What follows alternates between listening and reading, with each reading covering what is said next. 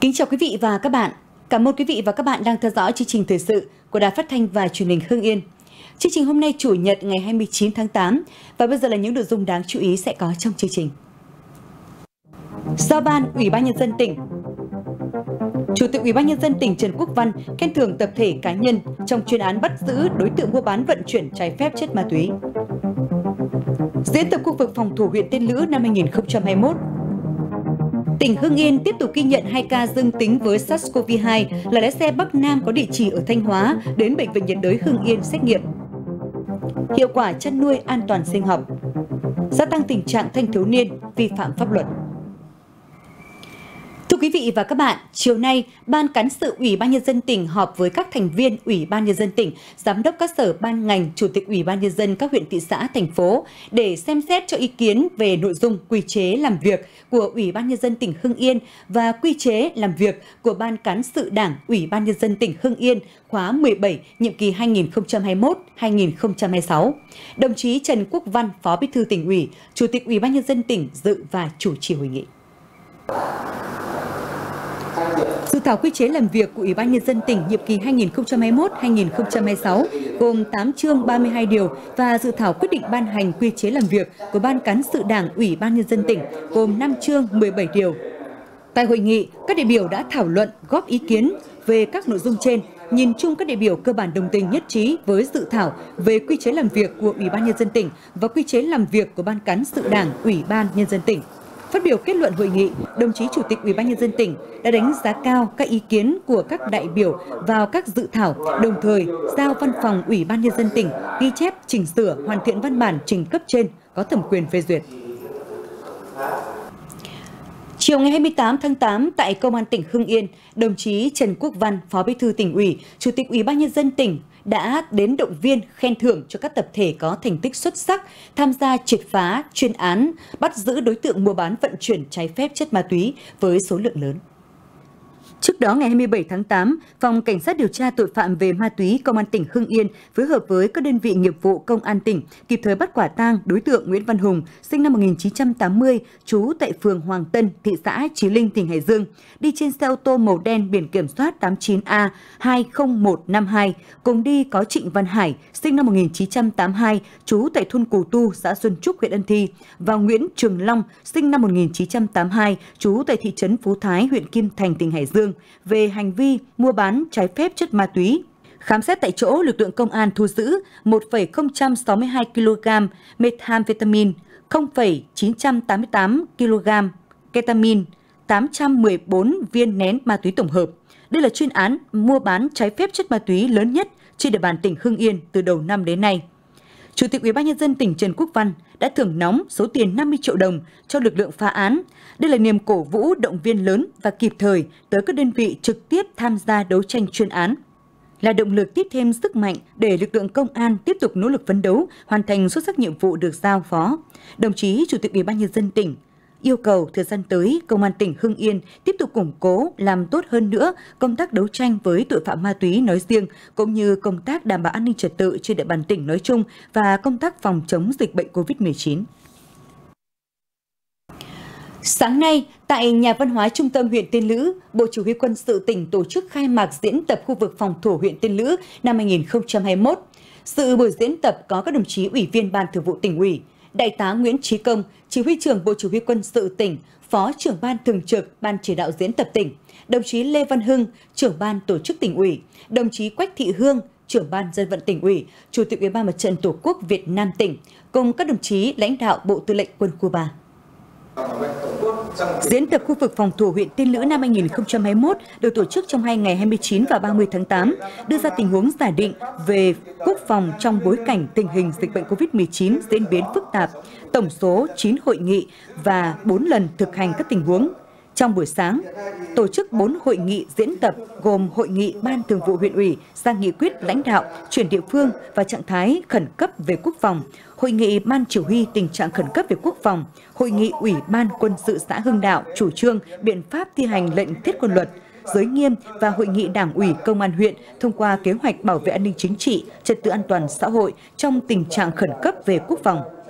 Hội nghị Ủy ban quân sự xã Hưng Đạo chủ trương biện pháp thi hành lệnh thiết quân luật, giới nghiêm và Hội nghị Đảng ủy Công an huyện thông qua kế hoạch bảo vệ an ninh chính trị, trật tự an toàn xã hội trong tình trạng khẩn cấp về quốc phòng, thực hành xử trí tình huống đánh chiếm mục tiêu, giải thoát con tin.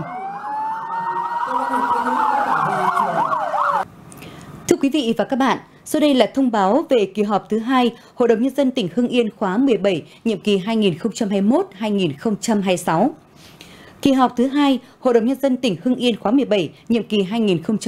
2021-2026 được tiến hành trong ngày 31 tháng 8 năm 2021, khai mạc lúc 8 giờ tại hội trường trụ sở Hội đồng Nhân dân, Ủy ban Nhân dân tỉnh, địa chỉ số 10, đường Chùa Chuông, phường Hiến Nam, thành phố Hưng Yên, để xem xét quyết định chủ trương đầu tư một số dự án đầu tư công trong danh mục được phê duyệt tại nghị quyết số 366 ngày 29 tháng 4 năm 2021 và nghị quyết số 24 ngày 30 tháng 6 năm 2021 của Hội đồng Nhân dân tỉnh về dự kiến kế hoạch đầu tư công trung hạn giai đoạn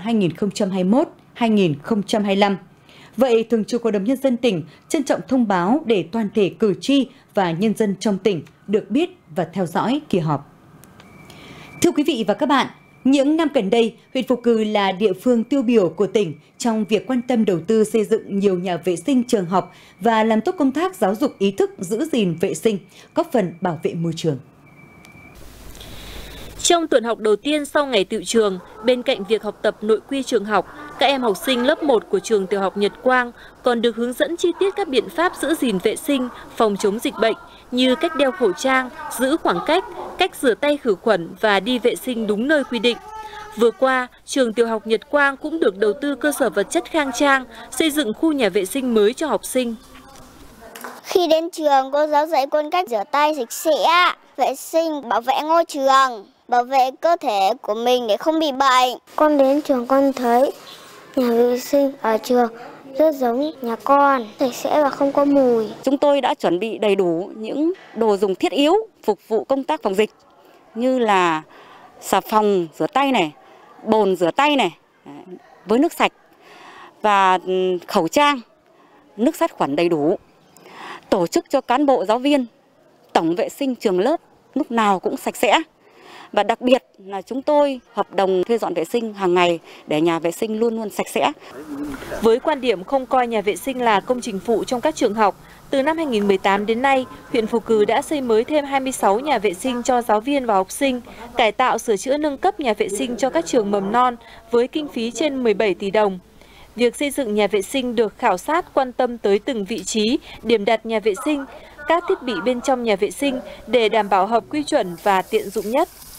Trường trong cơ sở Phú Cường chúng tôi được đầu tư rất lớn từ à, các cấp lãnh đạo và nhân dân địa phương trong một số cái hạng mục à, về cơ sở vật chất ví dụ như nhà vệ sinh khép kín và liền với khu học tập của học sinh dẫn đến là các em rất là tiện lợi, thoải mái và an toàn qua đó là nâng cao được chất lượng học tập chung của các em. Trong thời gian tới thì về phía phòng dục tiếp tục giả soát một số trường à, mầm non chưa có điểm trường tập trung. Thứ hai nữa là trong quy hoạch xây mới các đơn vị trường học thì cũng hướng trong đầu tư các nhà vệ sinh cũng khang trang, hiện đại, sạch đẹp để đảm bảo hợp quy chuẩn. Năm học mới 2021-2022 được dự báo là một năm học có nhiều khó khăn bởi dịch Covid-19 vẫn đang diễn biến rất phức tạp. Sự chủ động của các cấp chính quyền và các nhà trường trên địa bàn huyện Phù Cử trong việc quan tâm xây dựng các công trình vệ sinh, nâng cao nhận thức thái độ đúng của học sinh về vệ sinh cá nhân, vệ sinh môi trường sẽ góp phần cải thiện môi trường học đường, giảm thiểu sự lây lan của dịch COVID-19 nói riêng và dịch bệnh nói chung.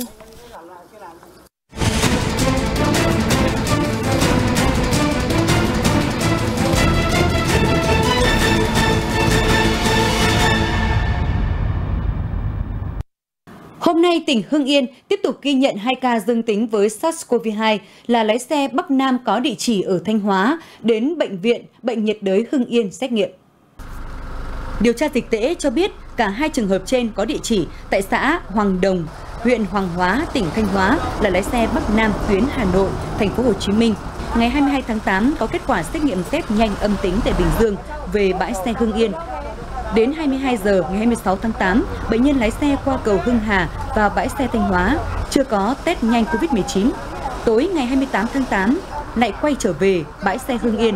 Đến 7 giờ ngày 29 tháng 8, bệnh nhân đến Bệnh viện Bệnh nhiệt đới Hưng Yên, xét nghiệm có kết quả dương tính với SARS-CoV-2. Bệnh nhân đã được chuyển lên khu điều trị cách ly và lấy mẫu xét nghiệm PCR,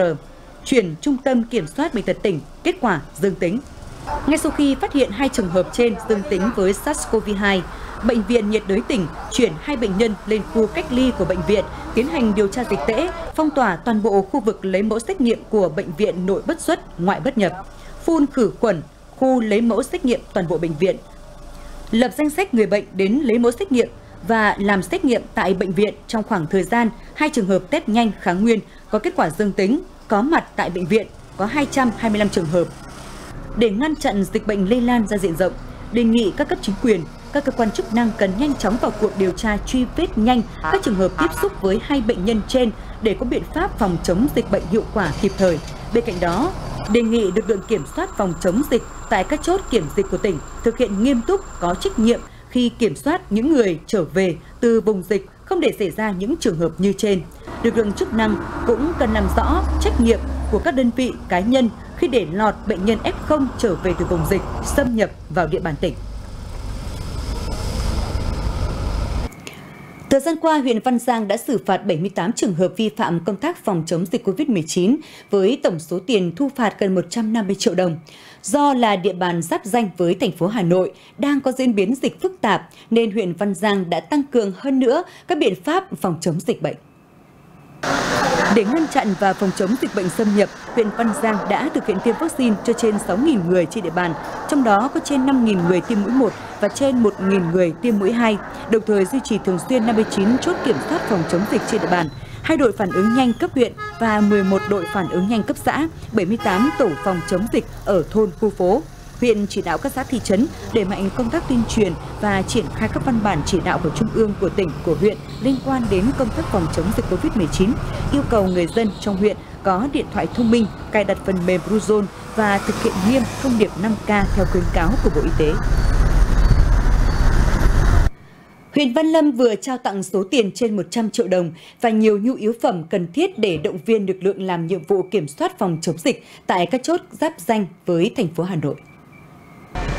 Theo đó, năm chốt của huyện có 99 người tham gia, mỗi người được hỗ trợ 1 triệu đồng và một số nhu yếu phẩm cần thiết. Là địa bàn có nhiều tuyến đường tiếp giáp với các thành phố Hà Nội, do đó để phòng chống dịch COVID-19 xâm nhập vào địa bàn, huyện đã thiết lập 55 điểm lập chốt kiểm soát phòng chống dịch với gần 500 người tham gia.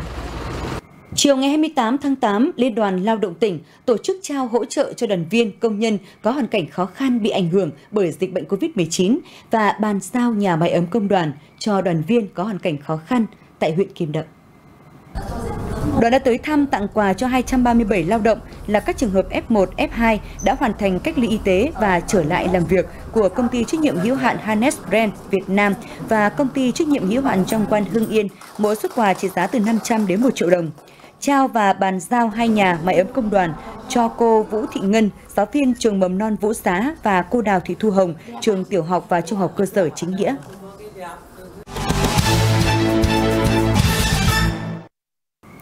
Mời quý vị và các bạn theo dõi tiếp chương trình thời sự. Giảm thiểu nguy cơ phát sinh và lây lan dịch bệnh, đem lại nguồn thực phẩm an toàn, giảm hao hụt, tăng hiệu quả sản xuất, đó là những lợi ích mà chăn nuôi an toàn sinh học theo quy trình Việt Gáp mang lại cho người chăn nuôi. Đây cũng là hướng đi cần thiết để ngành chăn nuôi trong tỉnh phát triển hiệu quả và bền vững hơn. Phóng sự được thực hiện tại huyện Kim Động. Thành lập năm 2019, Hợp tác xã chăn nuôi Nguyễn Giang ở xã Chính Nghĩa tập trung phát triển gà đẻ lấy trứng theo mô hình an toàn sinh học.